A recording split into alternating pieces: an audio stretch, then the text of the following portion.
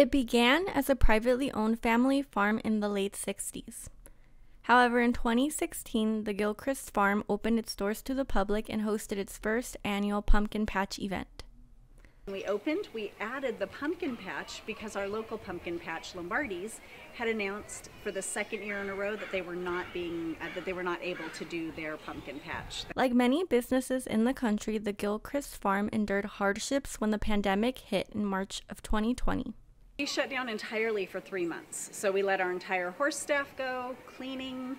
Um, we were down to the family taking care of all the animals. So the animals stayed, but the people left.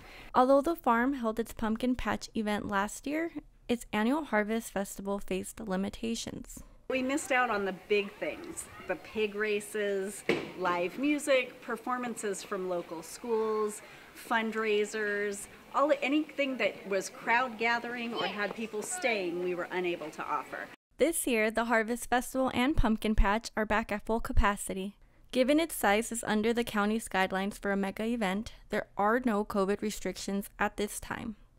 During visits, guests can enjoy watching pig racing, goat milking, and wool spinning at no charge. Other outdoor activities are offered as well, but at an additional cost. The Pumpkin Patch and Harvest Festival is open until October 31st.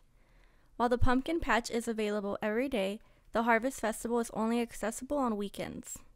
From Canyons News, I'm Claudia Canchola.